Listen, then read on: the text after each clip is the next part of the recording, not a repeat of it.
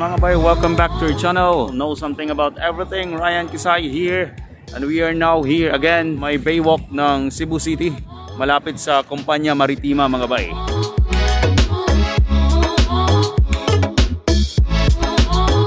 So today mga bay is September 16, 2021 mga bay. No? This is our half of the month update here for the C-Select. Sa likod natin mga bay, mayroong dumadaan ngayon na cargo, no? Ah, barko.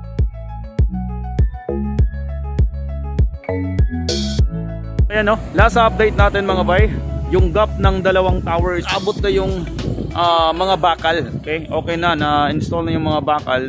Yung pagbubuhos na lang ng semento ang kulang. Maybe nasa less than 5 meters na lang yan mga bay, ang nasa gap ng C-Selects yung dalawang towers natin.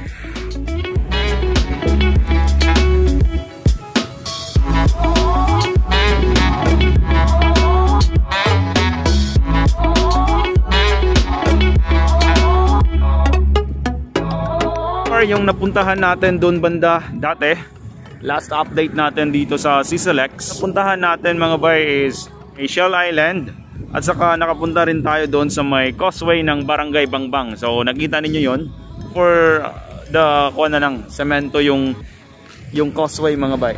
At saka yung ating uh, viaduct, it's already done. Ah, tapos na yung flooring niyan. Tsaka ito na lang talagang kulang yung sa may bridge.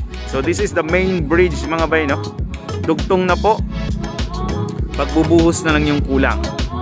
So puntahan din natin doon mga bay sa may viaduct ng CSCR para makita natin yung on-ramp at saka off-ramp. So tara!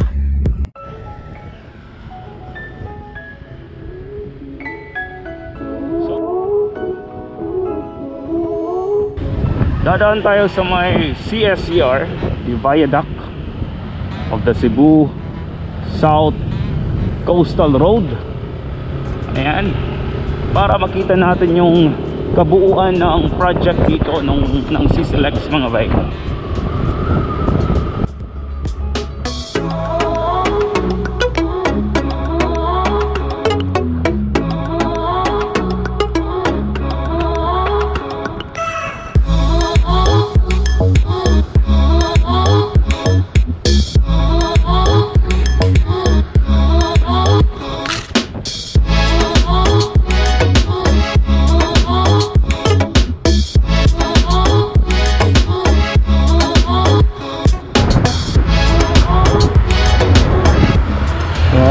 Andito tayo sa may CSCR Ayan yung labasan ng ano dyan, yung tunnel na yan.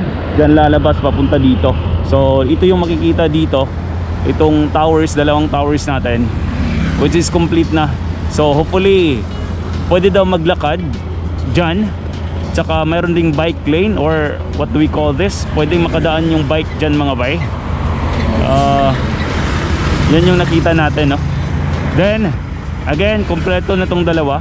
So yan yung uh, update natin dito. So continue tayo para makita natin dun sa unahan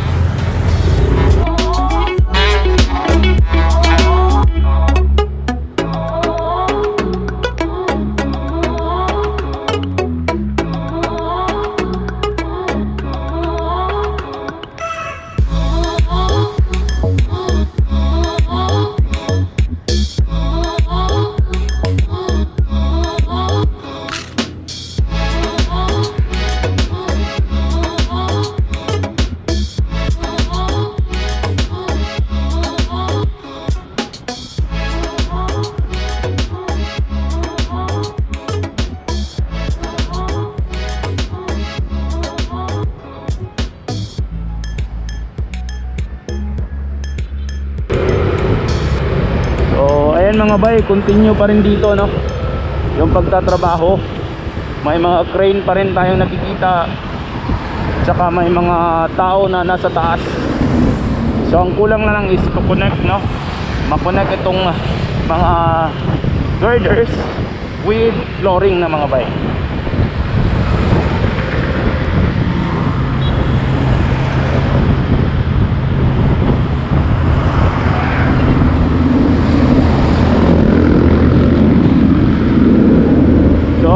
Nakikita natin dito mag hihiwalay itong off ramp at saka on ramp ayan naka flooring na rin partially. Dadaan siya dito sa may portal beam. Ayan yung on ramp mga bay. Dyan papasok papuntang Cordoba. Saka dito naman ang ah, off ramp ayan yung off ramp mga bay medyo nalagyan na rin ng mga flooring. At nakikita natin merong mga nagtatrabaho sa ngayon. Ayan. So for the flooring na yan siya mga bay. They're doing it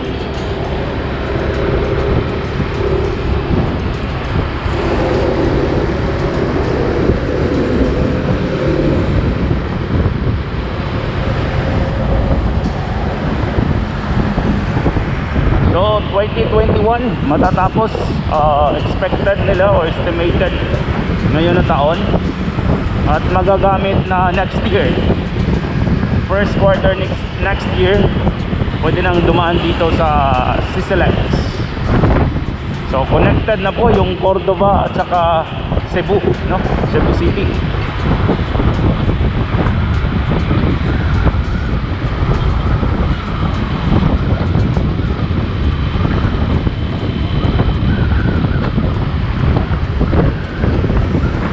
So dito parang okay na to dito yung sidewalk na lang ang kulang.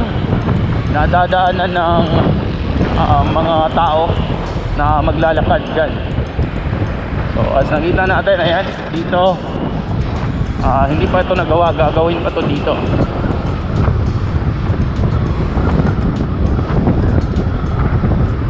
So that's our update for today. Half of the month. Thank you for watching mga bay keep safe always and have a good day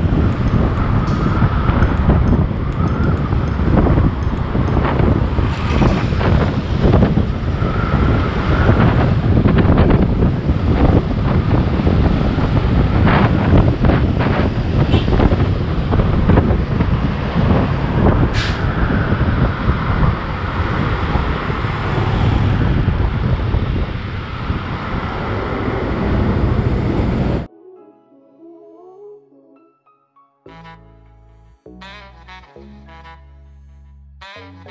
you.